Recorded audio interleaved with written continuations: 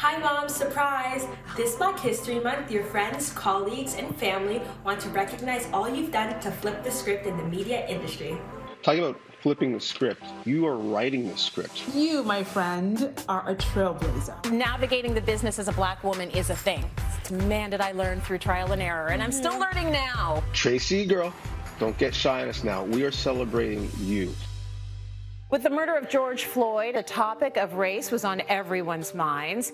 But I didn't want to do this special then. I wanted to wait until the Black Lives Matter hashtag started to wane. And here we are. You see it, you stand up, you speak out. I just want to point out that a conversation like this, spanning networks, has rarely been done before in Canada, and certainly not with a panel of black women.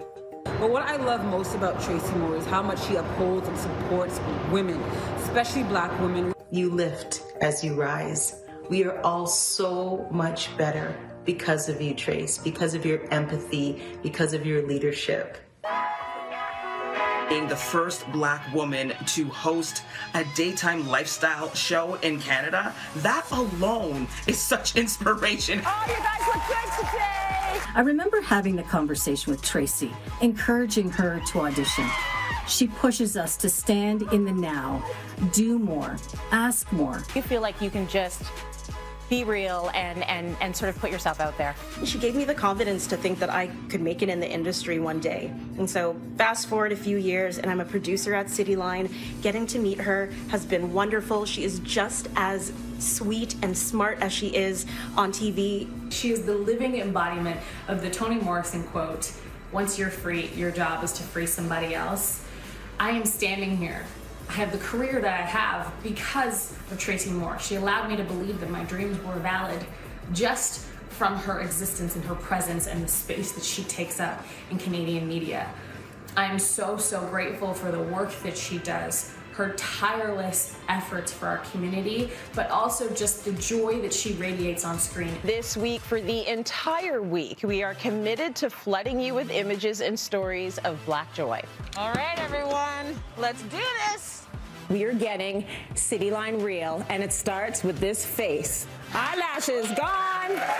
Thank you for giving of yourself to the media industry, for constantly showing up as your authentic, badass black girl self, for having an opinion sometimes in places when it's not popular, for giving a voice to the voiceless. Has anyone gotten that lecture from their parents? Right, only the black people. You inspire me to build connection through storytelling while showcasing Black joy and uplifting others all in the process. I am so grateful for you. I also love that you taught me and my sister growing up that we should always be proud of who we are.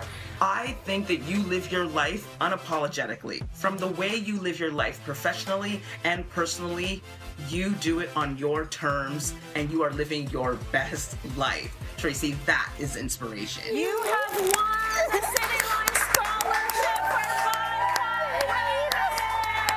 Being the first ever recipient of the BIPOC Women Scholarship for Cityline has changed my, my life in so many ways, and you're an inspiration. You are a leader.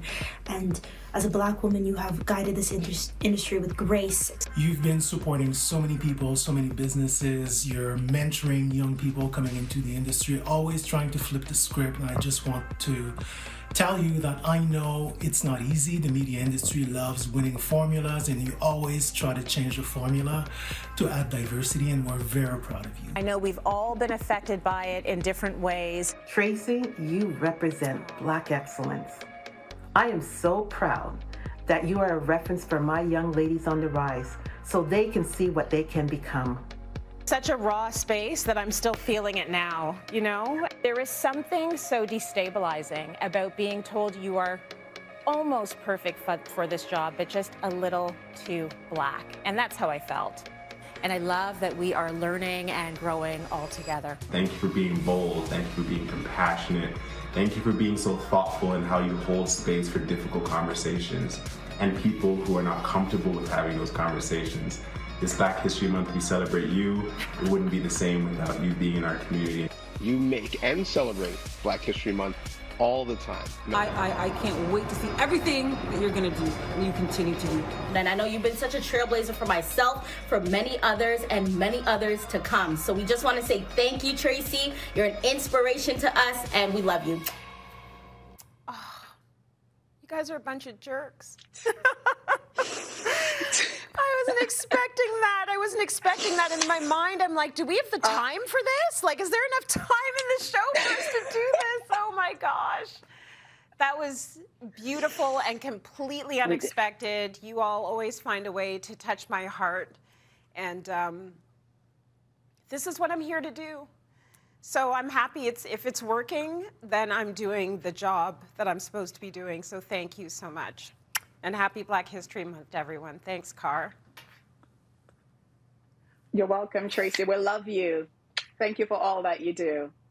I know, you know, there are days where you may not have the words and the weight might feel heavy, but we wanted to just gift you those public flowers to let you know how much you love us and how much we pray and love and support you.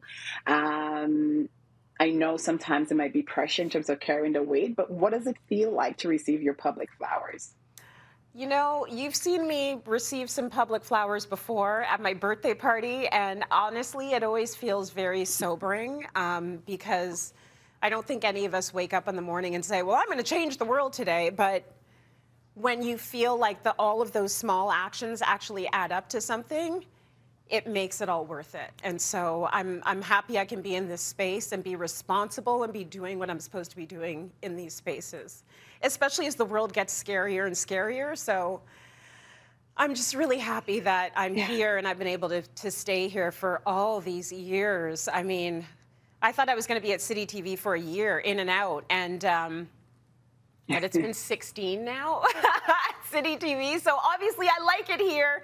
Um, and obviously the, the station has been amazing about allowing me to have a voice and to be who I am within these walls. So, and that happens behind the camera, it's happening in front of the camera, it's happening with the producers on the show. Everyone is just this incredible support system.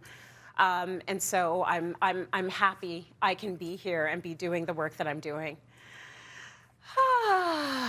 I feel like We're I've cried so enough. thrilled you here. happy, happy Black History Month. We love you. I love you all too. Happy Black History Month, everyone. Thanks for having